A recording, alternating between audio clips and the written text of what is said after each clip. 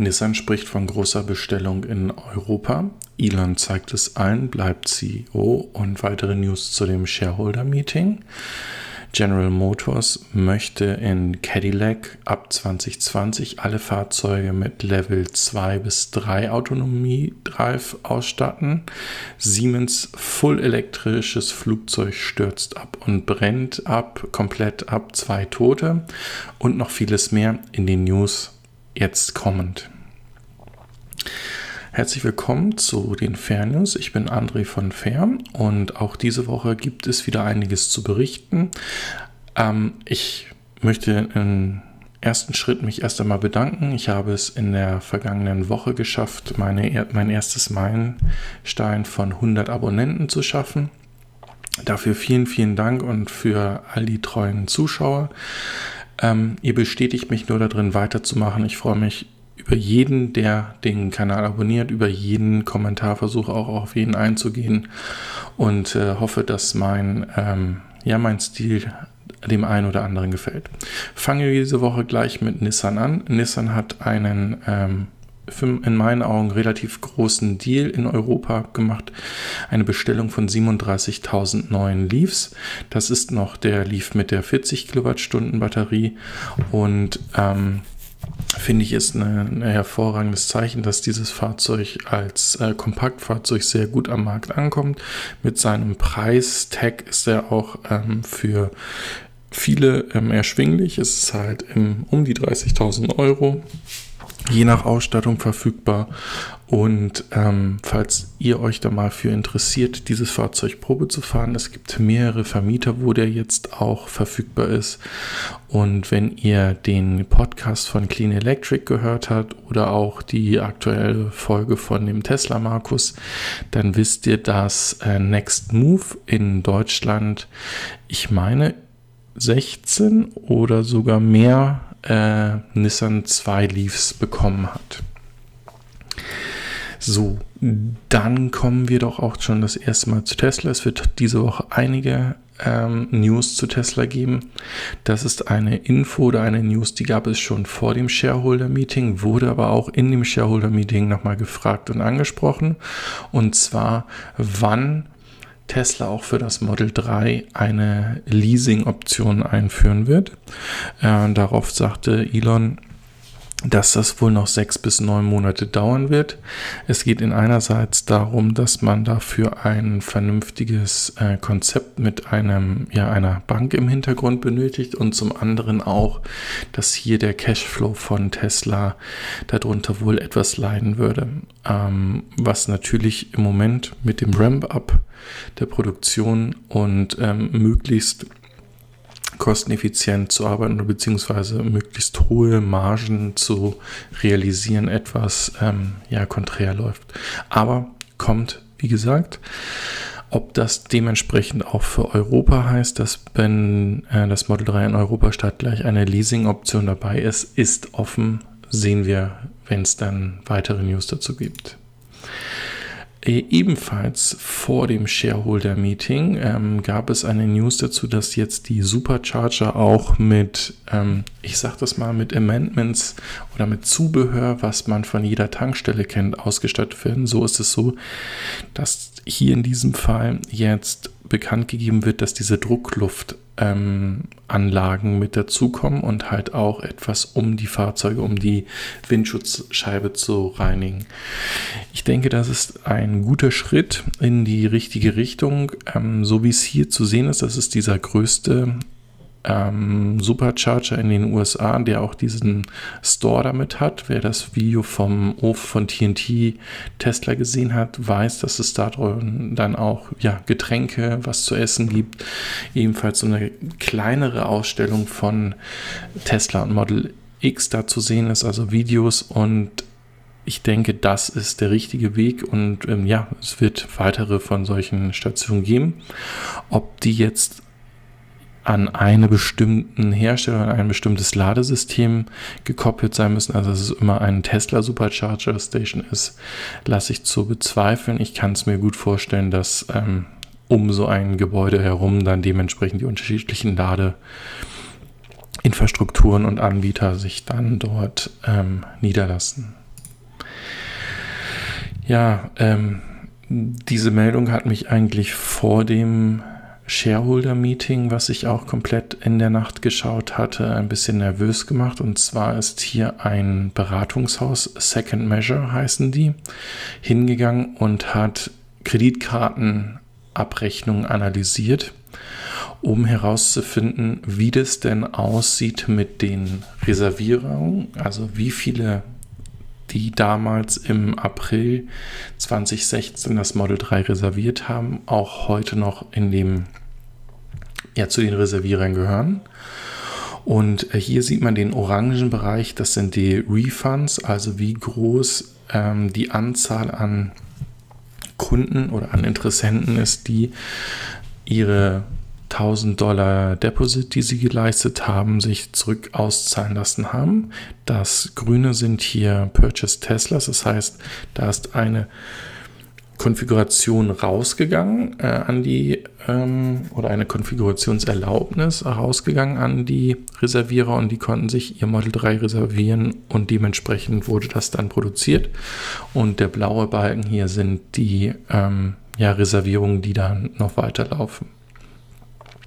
Und hier sieht man äh, ganz stark, also man könnte jetzt hier auch ähm, dazu hingehen und schauen, welche Informationen, welche News denn in diesen Zeiträumen rausgekommen sind. Und es sind hier jetzt gerade im März und April ist zweimal die Produktion ähm, ja, zum Erliegen gekommen oder wurde ähm, kontrolliert stillgelegt, was geplant war. In den Medien hieß es aber mm, eher, dass es weiterhin Probleme ist, dass man dort nicht mit den Planzahlen hinterherkommt. Hier im März wissen wir, das war Ende Q1 ähm, ging es ja auch darum, dass dann die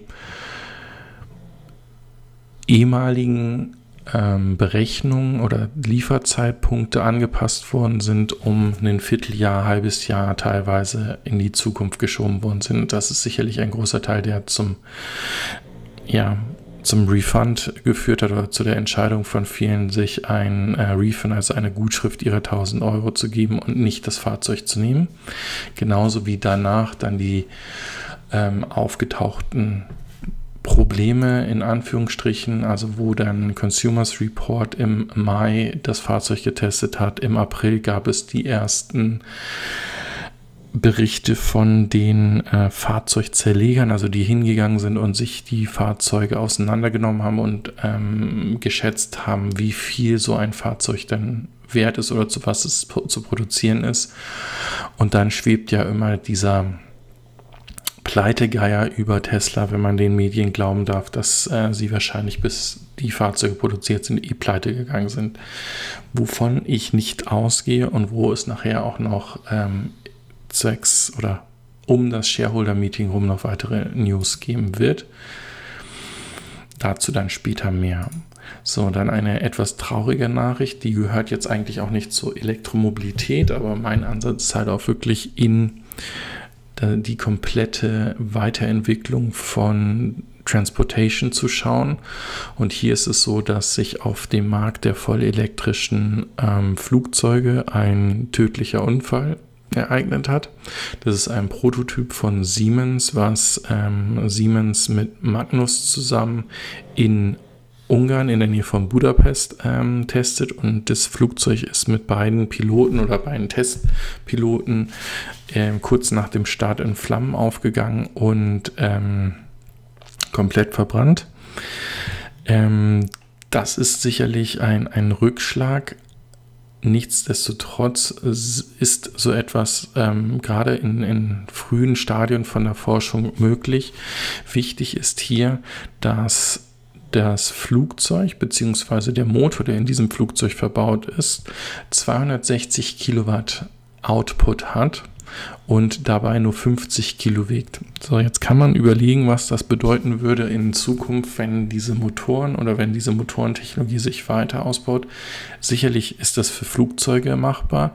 Es ist aber auch für Fahrzeuge, wo wir heute sagen, dass es noch zu schwierig ist, ähm, sie zu elektrifizieren, ein Weg oder vielleicht ein Flaschenöffner, um auch in diese Bereiche zu kommen. Also ich finde es absolut interessant, das in die Richtung der äh, privaten äh, Luftfahrt äh, hinzubringen, aber sehe das halt auch mit einem ähm, interessierten Auge, wie sich nun doch die Elektromotoren weiterentwickeln, wobei immer ja viele Experten sagen, dass da eigentlich gar nicht so ein großer Entwicklungsbedarf oder Entwicklungsstatus ähm, sind, die, wie sich so ein, ein Motor überhaupt weiterentwickeln kann. Bleiben wir gespannt. Ja, das ist auch ein Thema, was von Elon während des äh, Shareholder-Meetings angesprochen worden ist. Also es wird so sein, dass diese Charging Stations von äh, Tesla mit ähm, Solarpanels überdacht werden und somit am Tag Strom produzieren können, diesen dann in einem, äh, in einem Powerpack oder in einer Powerwall speichern und wenn dann der Strom benötigt wird, um Fahrzeuge zu laden, dementsprechend dann dieser Strom wieder abgegeben werden kann und äh, somit eigentlich ähm, 100% erneuerbarer Strom dann dementsprechend auch in die Fahrzeuge fließt. Wir haben hier in Regensburg am BMW-Werk bereits etwas ähnliches mit zwölf Ladepunkten. Die sind auch dementsprechend unter einem ähm, Solarroof, das äh, auch diese Batterien lädt und von dem man dann dementsprechend auch den Strom abziehen kann. Finde ich, wie gesagt, absolut der richtige Weg. Ich kann das nur befürworten und ich denke, dass auch äh, vielleicht Supermärkte über so etwas nachdenken sollen, gerade in, gerade in Regionen, wo es sehr warm ist und wo ähm, sehr starke Sonneneinstrahlung ist, einfach weil ich dann zusätzlich zu dem Stromproduktion auch noch Schatten generiere und äh, das dann mehr als nur eine Win-Win-Situation wäre. Ja, ein Thema, was mich diese Woche sehr traurig, aber auch wütend gemacht hat, ist jetzt, wo die OEMs, wo die großen Hersteller feststellen, dass doch kein Weg darum geht, ähm, in Richtung E-Mobilität zu gehen, sie nicht die Möglichkeit haben, ihre Verbrennungsmotoren noch äh, weitere Dekaden ähm, ja, zu verkaufen und gegebenenfalls sogar wie beim Diesel subventioniert zu bekommen, fängt man jetzt an, so dieses Horrorszenario aufzubauen, dass ähm, 75.000 bis 100.000 Jobs davon betroffen sind. Hier wird zum Beispiel die Powertrain von den Fahrzeugen genannt. Und ich muss einfach sagen, also wenn das die Berater sind oder wenn das die Ergebnisse von ähm, hochbezahlten Beratern ist, dass wir, nur weil wir umstellen von Verbrennungsmotoren und Verbrennungspowertrains auf elektrische Powertrains 75.000 Jobs verlieren, dann muss ich doch wirklich Fragen denken, die auch irgendwie nach, welche Jobs um die Elektromobilität herum entstehen können. Ich denke da an gut bezahlte Programmierer, die einerseits das User Interface bauen, die Produkte wie virtuelle Kraftwerke aufbauen, um dort Abrechnungen zu machen, wie das Bauen von den Maschinen, die die Elektrofahrzeuge bauen, bis hin zur Forschung von Batterietechnik, Wiederverwertung, also Second Life Projekte, wo dann ähm, verbrauchte Batterien oder genutzte Batterien für Straßenbeleuchtung, ähm, Power Shortage, also oder Notstromgeräte genutzt werden und und und. Also die Liste ist unendlich lang und ähm, ich finde es einfach einen, einen absolut falschen Weg, äh, sich dann dahin zu stellen und dann wieder den Deutschen oder den Europäern zu sagen, äh, passt mal auf, ähm, wenn ihr elektrisch fahren wollt und sauber fahren wollt, ist das zwar schön und gut, aber denkt auch an euer Nachbarn, der gegebenenfalls seinen Job verliert. Also absolut ein Daumen runter von mir. Ähm, ich kann es nicht mehr hören und ich werde nicht aufhören, darüber zu informieren und darüber zu sprechen, bis der Letzte es auch verstanden hat oder mir ein vernünftiges Gegenargument gegeben hat, warum das denn eben nicht funktionieren kann. Dürft ihr gerne auch in den Kommentaren diskutieren. Ich werde mich da sicherlich dann auch ähm, mit meiner Meinung oder ja, mit meinen äh, Entscheidungen dazu äußern. Das ist hier ebenfalls vor dem Shareholder-Meeting bereits hier gewesen. Und zwar wird in Australien aus 50.000 Powerwalls und mehr ein virtuelles Kraftwerk gebaut. Ähm, wir wissen noch, im letzten Jahr hatte Elon ja diese, ich, ich nenne es einfach mal Wette gemacht, dass sie es schaffen, in 100 Tagen den Strom dort unten wieder zum Laufen oder sicherer Laufen zu kriegen, eine ähm, große Powerpack Station äh, dort unten aufzubauen, um ähm, dann in den heißen Monaten, wo viele Klimaanlagen laufen, wo viel mehr Strom verbraucht wird, als Entschuldigung, teilweise das Stromnetz ähm, vertragen kann, ähm, eben zu sichern, werden jetzt halt private Haushalte zu einem virtuellen Kraftwerk zusammengebaut. Dieses virtuelle Kraftwerk muss man sich so vorstellen, dass jede kleine Batterie einen bestimmten Bedarf oder einen bestimmten Anteil seiner Leistung zur freien Verfügung stellt und damit dementsprechend dann ähm, Stromspitzen oder Strommindermengen ausgeglichen werden können. Ist definitiv etwas, was ich ja schon häufiger angesprochen habe, was ich auch für den europäischen Markt sehe. Ähm, nicht, weil wir irgendwie mit Blackouts zu rechnen haben, weil wir zu wenig Strom haben, sondern wenn wir komplett auf erneuerbare Energien sind, äh, wir zum Beispiel von Sonne und Windenergie abhängig sind und in einer Region jetzt äh, dementsprechend die Sonne durch ein Gewitter verdeckt ist und die Menge nicht mehr ausreichen und weil der Wind zu stark ist, die Windkraftanlagen runtergefahren werden müssen, dann kann es sein, dass die, ähm, die Herzzahl im Netz variiert und dann müssen diese Minder- und Mehrmengen eben ausgeglichen werden. Da könnten dann solche virtuellen Kraftwerke, es können Fahrzeuge sein, es können Powerwalls sein oder, oder Stromspeicher sein, die das dementsprechend auffangen. Ja, ähm, jetzt kommen wir immer dichter auf das äh, Shareholder Meeting. Hier sehen wir einen weißen ähm, Roadster oder Next Generation Roadster, der dort zu sehen war. Es ist äh, in meinen Augen ein unglaublich schickes, ich nenne es mal Hypercar, also ähm, fantastisch gelungen, ein absoluter Eyecatcher und ähm, ich freue mich schon, diese in zwei, drei Jahren in der freien Wildbahn fahren zu sehen. Und nun kommen wir zum Shareholder Meeting. Das erste oder beziehungsweise der wichtigste Punkt, der bei diesem Shareholder Meeting ähm, besprochen wurde und auch eingereicht wurde, ich hatte es ja angekündigt, ist, dass es ein oder sogar mehrere Anträge gab. Einerseits das Management zu reduzieren und auch einen Antrag äh, Elon Musk als CEO entsprechend von der Position runter zu ähm, ja, befehligen und jemanden anders da reinzusetzen. All diese Anträge sind mit großer Mehrheit abgelehnt worden. Also es bleibt beim Alten. Das Management ähm, ist auch in der Zahl bestätigt worden, wie es jetzt ist. Und auch Elon Musk ist dementsprechend bestätigt worden.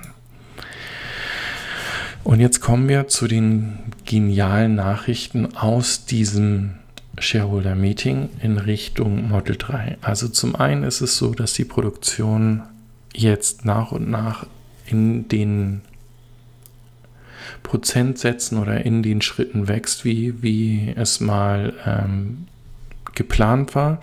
Es laufen jetzt zwei Produktionsstraßen, eine dritte wird gerade aufgebaut und ähm, somit steigt die Produktion. Und das Tesla Model 3 ist das bestverkaufte Premium Midsize Sedan, also in der Klasse wie ein 3er BMW oder eine C-Klasse in den USA. Hier sieht man das ganz stark, wie hier ähm, sie ansteigen. Und ähm, man sieht, wie die anderen hier, zum Beispiel BMW, ähm, Audi stagniert eigentlich ein bisschen, aber BMW verliert wirklich an Boden und auch Lexus verliert an Boden, die halt wirklich als ähm, Garanten in diesem Premium Midsize ähm, Market liegen. Es werden bereits 500 Fahrzeuge pro Tag gebaut. Das Ziel ist ja, dass wir bis Ende Quartal 2000 oder zweites Quartal 2018 die 5000 Fahrzeuge bereinigt. Also das heißt nicht mehr mit Fehlern behaftet, sondern rein fertig produzierte Fahrzeuge pro Woche, die auch rausgehen, ähm, hinbekommen. Und äh, das hat Elon Musk gesagt, sind sie absolut in der ähm, in Möglichkeiten, das hinzubekommen. Und wenn diese 5000 Fahrzeuge pro Woche produziert werden, dann wird es auch die Produktion von den neuen Varianten, also sprich ähm, Dualmotor und auch dem Performance-Modell als allererstes geben. Es wird, und jetzt kommen wir zu den genialen Aussagen, die dann in der Frage- und Antwortrunde mit Elon äh, passiert sind, noch in diesem Monat in Nordamerika in den Tesla Stores die Möglichkeit geben, das Model 3 Probe zu fahren. Also es das heißt, alle, die eine Reservierung gemacht haben und noch nicht es konfigurieren konnten und es bekommen haben und vielleicht auch weite Wege gefahren sind, um es sich irgendwie mal in einem Showroom nur anzusehen, bekommen jetzt in, noch in diesem Monat die Möglichkeit, Probefahrten in den USA auszumachen, um dann zu sehen, hm, was für ein geniales Fahrzeug auf sie dazukommt. Bisher war es nur über die ähm, Vermietungsseite Turo möglich. Turo ist halt ähm, auch aktuell ein, ein guter Weg, ähm, auch für Interessenten außerhalb der USA an diese Fahrzeuge zu kommen und diese zu mieten, weil dort Privatpersonen diese Fahrzeuge dementsprechend euch dann zur Verfügung stellen können und ähm, ihr dann ja genau wie, wie bei einer normalen Vermietung dann einen Tagessatz für dieses Fahrzeug zahlt. Wie gesagt, aber dann, ihr wisst, ihr reserviert ein Model 3 und ihr bekommt ein Model 3. Ähm, eine geniale Aktion.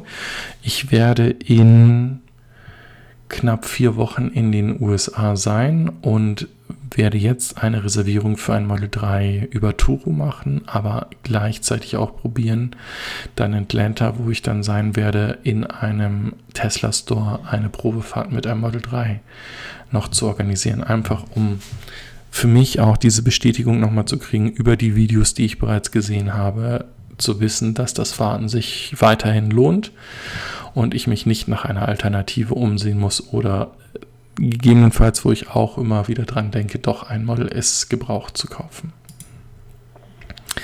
Ja, es gab auch bei dem Shareholder Meeting, hier sieht man es nur ganz schwach, weil es war ähm, eins von drei Bildern, die auf einem ähm, Slide, der präsentiert wurde, zu sehen waren, ein neues Bild von dem Model Y. Das Model Y wird frühestens im nächsten Jahr, also Elon hat mal so gesagt, am 15. März nächsten Jahres vorgestellt. Und äh, während der Präsentation oder beziehungsweise Frage- und Antwortrunde war auch eine Doktorin da, die an Elon die Frage gestellt hat, wann sie denn aufhören würden, echtes Leder für die Lenkräder und den äh, Power-Shift-Button, also den, den Schaltung zu nutzen. Ähm, dann hat Elon erstmal gescherzt, dass es eigentlich in einem Tesla diesen ähm, ja, Schalter mit dem Leder gar nicht gibt. Aber er hatte auch in ja, oder zu bedenken gegeben, dass das Model Y vielleicht überhaupt gar kein Lenkrad mehr benötigt. Also es gilt noch als Joke, aber wir wissen, wie diese Ankündigung von Elon teilweise dann auch ähm, ja, sich in die Realität entwickeln und äh, das wäre schon ein Quantensprung, wenn wir wirklich 2019 dieses Model Y vorgestellt bekommen mit der Möglichkeit, das ohne Lenkrad zu fahren und dann gehen wir mal wieder von dem gleichen Start- und, und Produktionsaufbau wie beim Model 3 aus, dann zwei bis zweieinhalb Jahre später so ein Fahrzeug dann in der Produktion und ausgeliefert wird. Also absolut geniale Geschichte. Ja, auch zu den Superchargern der, der Version 3 ähm, hatten wir ja schon einige Nachrichten gegeben und die sollen so sicher sein, dass sie selbst eine Zombie-Apokalypse überleben könnten. Ist wieder auch ein Spruch, den Elon in dieser Frage- und Antwortrunde gebracht hat. Er hat nochmals bestätigt, dass er es nicht sieht, dass sie mit den Ultrafast Charging Netzwerken konkurrieren. Ähm, sie werden die Leistung, die Kilowattstundenleistung erhöhen. Es sind wieder so 200 bis äh, 250 Kilowatt im Gespräch. Und ähm, es wurde da auch nochmal darauf eingegangen, dass das eigentlich auch vollkommen ausreichend ist, weil wir dann so von 15 bis 20 Minuten von 0 auf, 100 äh, auf 80 Prozent Ladestatus sprechen würden. Also da sagte Elon auch, das ist wahrscheinlich schneller, als man sich sein Sandwich geholt hat und ähm, auf, dem, auf der Toilette gewesen ist. Also somit absolut zukunftstauglich und ähm, absolut ähm, alltagstauglich. Zusätzlich wurde auch bei diesem Shareholder Meeting ein ähm, Update von den Autopilot angesprochen, welches ähm, einen riesigen Schritt in, in, die autonome Zukunft machen soll. Ähm, es kommt nachher noch ein weiterer Artikel, meine ich, weil ich kurz bevor ich jetzt gestartet habe, die Sendung, noch eine Nachricht gesehen habe, dass ähm, das Release oder beziehungsweise das Update jetzt langsam äh, gepusht wird. Also Interessenten können sich ja jetzt mit dieser Pull-Funktion selber ziehen und selber entscheiden, dass sie es jetzt schon haben wollen und nicht erst darauf warten, wenn ihr Fahrzeug in dem Batch drin ist, was dann dieses Update äh, über die Over-the-Air angeboten bekommt. Also von daher, ähm, wir haben lange darauf gewartet. Es äh, kommt jetzt endlich und es soll viele Neuerungen bringen, viele Verbesserungen bringen. Tesla wird noch diesen Monat oder bis, bis Ende diesen Monats eigene Body-Shops oder beziehungsweise auch Body-Shops lizenzieren, bei denen es so sein wird, dass die Servicezeiten reduziert werden sollen und es viele Same-Day-Repairs geben. Also man bringt das Fahrzeug morgens rein und abends ist es bereits wieder repariert, womit äh, Elon extrem auf ähm, ja, die Beschwerden eingeht, dass das teilweise Probleme ist, Ersatzteile zu bekommen, teilweise sehr lange äh, solche Reparaturen sich hinziehen und damit soll dementsprechend der Service von Tesla beschleunigt werden. Wir wissen ja auch, dass in Europa über Partnerwerkstätten, über ATU gesprochen wird, schon seit längerer Zeit. Ich kann mir auch gut vorstellen, dass da noch weitere ähm, freie Werkstätten dazukommen oder Werkstättenverbände.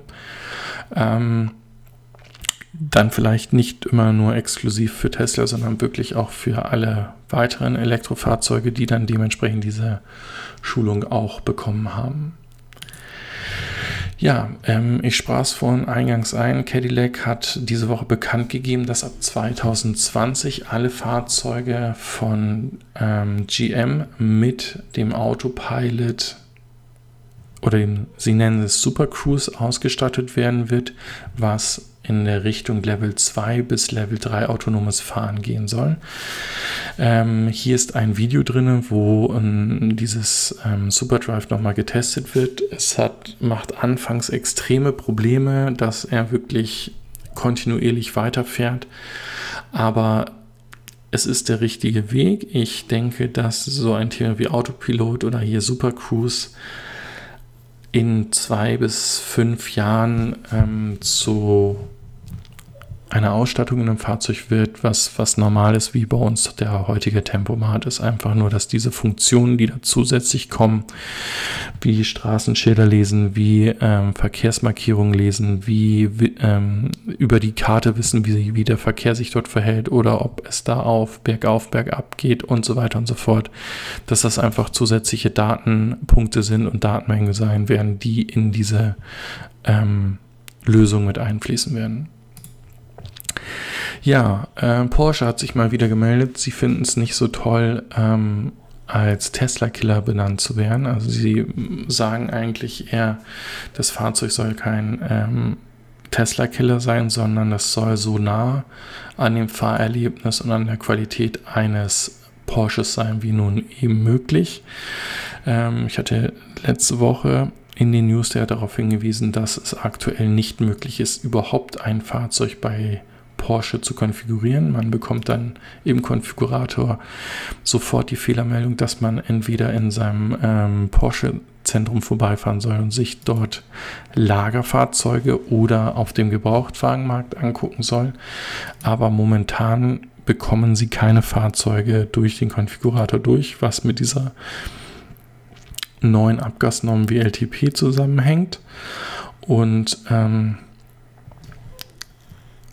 die Autohersteller es eigentlich verpasst haben, diese Zertifizierung zeitnah anzugehen. Also es ist jetzt nichts, was irgendwie ähm, vom Baum gepurzelt ist und, und ähm, ja, wo sie keine Chance hätten, das einzuhalten, sondern es geht hier wirklich darum, um realistische Werte, realistische Alltagswerte bei den Verbrauchern darzustellen. Und ähm, anscheinend hat man das, wie gesagt, nicht nur versäumt, sondern wirklich auch fahrlässig ähm, dieses Thema sich nicht angenommen.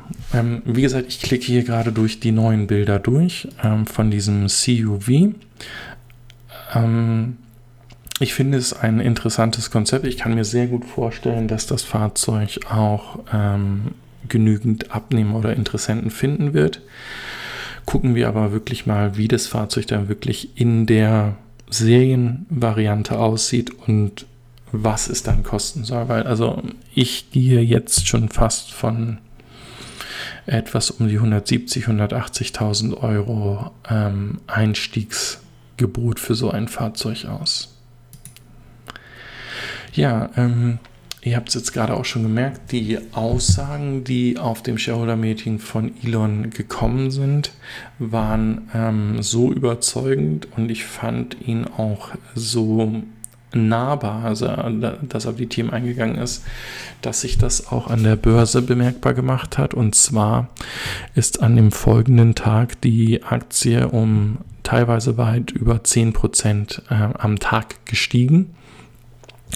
Und ähm, das ist absolut genau das, ähm, wie es an der Börse nun mal so läuft. Ähm, es werden dort Nachrichten, Zukunftsprognosen gehandelt und ähm, ja, wenn es nur immer negative Presse gibt, dann verliert vielleicht ein, ein Investor oder ein, ein, ähm, ein Interessent, der an die Marke oder an die, die Produkte glaubt, dann auch mal sein ähm, Wunsch oder sein Vertrauen.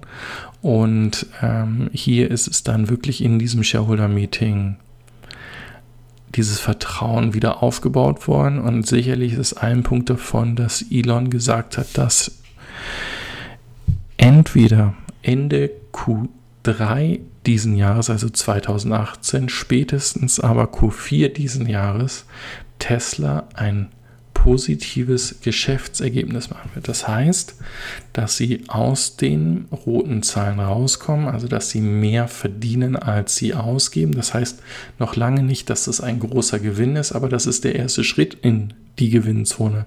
Das ist der erste Schritt, dass Investitionen in Forschung, Entwicklung, die Produktionsstraßen sich jetzt auszahlen und ähm, wenn dann diese Produktionsraten immer noch weiter steigen, so wie sie eigentlich prognostiziert sind. Elon ja auch angesprochen hat, dass das nächste, ähm, die nächste Gigafactory in China gebaut wird und danach dann eine in Europa. Und der Standort in Europa soll noch dieses Jahr mitgeteilt werden. Dann sieht man, was dort bei Tesla eigentlich geplant wird, auch an Stückzahlen in den nächsten Jahren zu bringen. Und ähm, das könnte dann wirklich jetzt so dieser sagen wir mal, der Bergweg gewesen sein oder der Bergtag gewesen sein, wo es der höchste Punkt war, den Tesla erklimmen müsste, wo, wo es jetzt runtergeht und wo es dann wirklich dann auch diese Ausrede oder diese Zweifel immer, ja, wer weiß, wie lange es Tesla noch geben wird, bevor sie pleite sind, äh, so langsam eine ziemlich lange Nase bekommen hat und äh, auch nicht mehr allgemeingültig sein kann. Ja, äh, Daimler hat zusammen mit seinem äh, Freightliner-Unternehmen einen vollelektrischen äh, Semi-Truck vorgestellt. Äh, zusätzlich auch ein ähm, ja, LKW, das ist dieses Teil hier daneben, was rein elektrisch fährt. Diese Fahrzeuge sollen ähm, so um die 125 Kilometer, äh, 125 Meilen weit kommen. Und sie haben nochmals gesagt, dass sie es nicht glauben, also dass sie wirklich davon ausgehen, dass entweder Tesla lügt oder sie es irgendwie hingekriegt haben, dass sie die äh, physikalischen Gesetze außer Kraft gesetzt haben, weil sie es nicht verstehen, wie die Fahrzeuge von Tesla 500 Meilen mit einer, äh, mit einer Ladung schaffen sollen.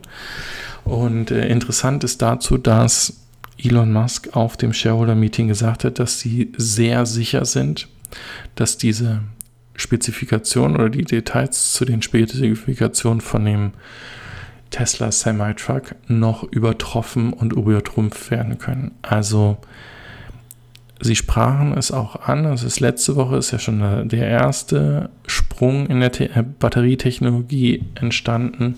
Sie sagten aber auch, dass sie sehr nah daran sind, eine ähm, Bekanntgabe in der Entwicklung von der Zellen Entwicklung mit ihrem Partner Panasonic zu geben. Also es kann sein, aber das, ähm, das müsste schon ein riesiger Schritt sein, damit, ähm, ja, oder der dann auch Daimler wieder recht geben würde. Ich, ich finde dieses Thema so spannend. Ich, ich kann es einfach gar nicht glauben, auch dass, dass jemand auf Daimler-Seite solche Aussagen äh, treffen kann oder treffen darf, dass ähm, sie meinen, dass Tesla lügt oder sie ähm, die physikalischen Gesetze außer Kraft gesetzt haben, weil sie einfach komplett clueless sind und nicht wissen, wie äh, sie das hingekriegt haben sollen. Und äh, in anderen Nachrichten sprechen sie halt immer davon, dass Tesla dieses Startup-Unternehmen aus Kalifornien ist, was ja es nie schaffen wird, eine schwarze Null zu schreiben. Also das ist so etwas, was im Moment für mich absolut interessant zu verfolgen ist und was mir nicht in den Kopf geht, wie, wie ein Daimler solche Äußerungen treffen kann kommen wir zu General Motors und Honda nochmal. Und zwar geht es hier darum, und ich denke, das ist auch eine Entwicklung, die ähm, logisch ist und die wir wahrscheinlich noch häufiger sehen werden, ähm, die sich zusammenschließen, partnern und den äh, so Next Generation Batteries bauen wollen. Also die die zukünftigen Batterien für ihre zu elektrifizierenden Fahrzeuge als eine modulare ähm, Basis aufbauen wollen und diese dementsprechend dann in ihren Fahrzeugen, Fahrzeugen bringen wollen. Ist absolut ähm, gerechtfertigt, macht absolut Sinn, hier nicht immer nur alleine äh, zu forschen, sondern sich da dann mit anderen starken Partnern zusammenzusetzen. Ähm, von Honda hatten wir ja in den vergangenen zwei Wochen auch mitbekommen, dass sie jetzt endlich das erste vollelektrische Fahrzeug vorgestellt haben, was sie bringen wollen. Und das dann auch zu einem Preis, der halt für viele lukrativ ist und da muss natürlich dann auch wirklich die kompletten ähm, Materialien, Rohstoffe, Baugruppen, die sie verbauen, wie auch die Batteriepacks zu ähm, absolut Kampfpreisen verfügbar sein für sie. Ja, ähm, letzte Woche haben wir darüber gesprochen, dass Tesla wieder viele neue Executives einstellen konnte. Jetzt ähm, sprechen sie davon, dass sie einiges, äh, einen weiteren Senior ähm, Executive verlieren, der ähm, zu dem Startup-Unternehmen Plenty geht. Ähm, kann man jetzt sagen, ist nicht wirklich interessant. Nur dieses Startup-Unternehmen Plenty hat schon mehrere hochrangige Executives von Tesla abgeworben. Und ähm, interessant ist halt hier wirklich, dass es ähm, diesen Executives darum geht, diese Problematik der Produktion oder des Verfahrens, wie man halt auch hier zum Beispiel mit neuen Wegen ohne Pestizide, ohne Chemie, ohne ähm, Genmanipulation Rohstoffe wie Salate, wie, wie alles mögliche äh, Grünzeug wachsen kann und das damit sozusagen den Hunger der Welt auch stillen kann, ähm, sie das als eine ähnliche Herausforderung sehen wie zum Beispiel ähm, die Produktion aufzubauen bei Tesla. Ähm, ich habe mir die Seite angeguckt, ich finde es absolut interessant. Leider ist da nicht ganz so viel bisher zu sehen, aber ich bin gespannt, was fertige Produkte sein könnten oder marktfähige Produkte von Plenty sein könnten, die dann auf den Markt kommen. Ja, ähm, die NTSB, das ist die ähm, Aufsichtsbehörde in den USA, die diesen ähm, Fall mit dem Tesla Model X ähm, untersucht haben, erst gemeinsam mit Tesla und dann haben sie sich ja entschieden, ähm, nicht mehr mit Tesla zusammenzuarbeiten, weil Tesla bereits Informationen verteilt hatte oder bekannt gegeben hatte, die im Log drin waren. Und dieses NTSB wollte erst einmal weiter forschen. Und ähm, da hatte dann Elon Musk darauf gesagt, dass sie das nicht machen werden, dass sie Daten zurückhalten, sondern sie arbeiten da offen. Und ähm, hier ist ein Auszug, was sie festgestellt haben, wie dieses ähm, ja, Vorgehen war. Und interessant ist ja eigentlich der letzte, die letzten zwei Punkte, also vier Sekunden vor dem Crash, ähm, war das Fahrzeug ähm, zwar noch im Auto, ähm, Pilotenmodus folgte aber kein äh, vorderem Fahrzeug mehr.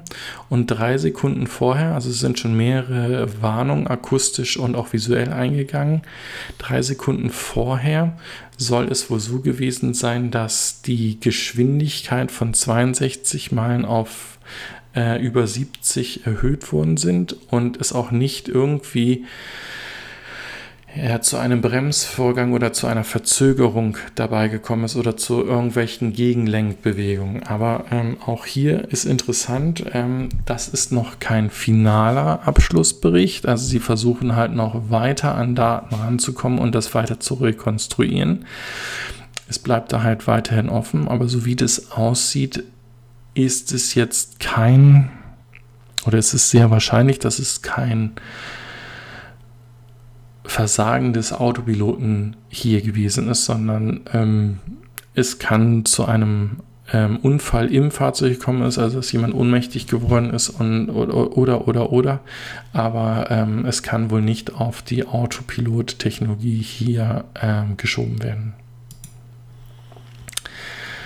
Ja, ähm, interessant ist, bei dem Shareholder-Meeting hieß es ja nochmal, oder hatte sich Elon Musk ja auch nochmal ähm, erklärt, warum es zu diesen Problemen bei dem ähm, Bottlenecks oder bei den, bei den Verzögerungen der, des Aufbaus der ähm, Model 3 Produktion gekommen ist. Heute ist nochmal eine äh, neue Mitteilung gekommen, also die Bodyline vom Model 3 ist heute, also es ist auch einer der Gründe für diesen Aufbau dieser neuen ähm, Produktionsstraßen jetzt bei 95% Automatisierung angekommen. Also das heißt, es gibt dementsprechend ähm, Bereiche, wo ein hoher Grad an Automatisierung auch möglich ist. Es ist aber auch so, dass es einfach Bereiche gibt, bei denen ähm, ja, die, die menschliche Arbeitskraft einfach unabdinglich ist. Ähm, kurze Mitteilung nochmal zu dem Tesla Next Generation Roadster. Dieser soll einen Augmented Mode haben. Ähm, dieser soll eigentlich durch Computerrechenpower es dem Fahrer ermöglichen, mit dieser Power, die dieses Fahrzeug hat, überhaupt klarzukommen und das ähm, kont kontrollierbar zu machen oder, oder auch handelbar zu machen. Ähm, Finde ich einen interessanten Ansatz, also dass es dort wirklich Unterstützung gibt. Ähm, vielleicht ist da dann auch dementsprechend langsam ein, ein, ein zusätzlicher Führerschein notwendig, um solche ähm, ja doch ultraschnellen Fahrzeuge im öffentlichen Verkehr steuern zu können. Also bleibt interessant. Ich finde das Fahrzeug nach wie vor sehr, sehr spannend und freue mich nach wie vor, es irgendwann mal live zu sehen. Ja, und hier ist genau die Mitteilung, die ich vorhin schon sagte. Das ist ähm, heute gekommen. Also die neue Autopilot-Update-Software ähm, ist jetzt draußen mit, mit extremen ähm, Erweiterung. So ist es so, dass zusätzliche ähm, Features oder beziehungsweise zusätzliche Informationen auch jetzt im Display angezeigt werden über die Lanes. Also es werden auch neue ähm, Verkehrsteilnehmer dementsprechend dargestellt und ähm, es ist jetzt wirklich abzuwarten, inwieweit auch dieses ähm, System lernt und wie ausgeklügelt es dann ähm, in den nächsten Wochen, Monaten sein wird. Kommen wir jetzt, ähm, ich sag mal nicht schon, kommen wir jetzt zur letzten äh, Mitteilung und zwar Kia hat sein Niro äh, Full Electric vorgestellt. Ähm, ihr wisst hoffentlich oder ihr wisst wahrscheinlich, dass Kia zusammen ähm, zu Hyundai gehört und ähm, das Fahrzeug dementsprechend ähm, dem Hyundai Kona EV sehr nahe kommt. Also es ist halt auch so ein Kompakt-SUV-Fahrzeug, äh, ein Kompakt-Utility-Fahrzeug, die sich auch von außen sehr ähneln. Ebenfalls sind die Spezifikationen ähm, ja sehr ähnlich. Die Frage wird auch hier sein, wie sie es mit deren Batteriezulieferern hinbekommen, die ähm, entsprechende Stückzahlen hin ja, hinzukriegen, weil sie heute schon extreme Probleme haben für die bestehenden Modelle bei Hyundai und bei Kia ähm, diese Batteriemodelle zu kriegen. Ansonsten macht es mich ähm, hier auch wieder sehr glücklich. Es wird auch wieder ein Fahrzeug in der 30.000 Euro Range sein mit, ähm, mit der Kleinstbatterie, also einer 39,2 äh, Kilowattstunden Lithium-Polymer-Batterie die über 300 Kilometer nach WLTPS ähm, schaffen soll. Also das ist dann, wie gesagt, auch der neue Wert, an dem wir uns halten. Und da muss man dann auch nicht mehr 30, 40 Prozent von abziehen, sondern das sind dann wirklich ähm, alltagsnahe Werte. Ja, äh, sind wir äh, somit auch am Ende angekommen. Ich möchte noch einmal auf äh, das Video hier oben äh, hinkommen. Ähm, und zwar ist es eine Aktion, die der Robin von Robin TV gestern ins Leben gerufen hat. Hier geht es um ähm, die Frage, was bedeutet Elektromobilität für mich? Habe ich etwas zugesagt und ähm, das Ganze wird dann mit dem Hashtag Mobilisieren verlinkt.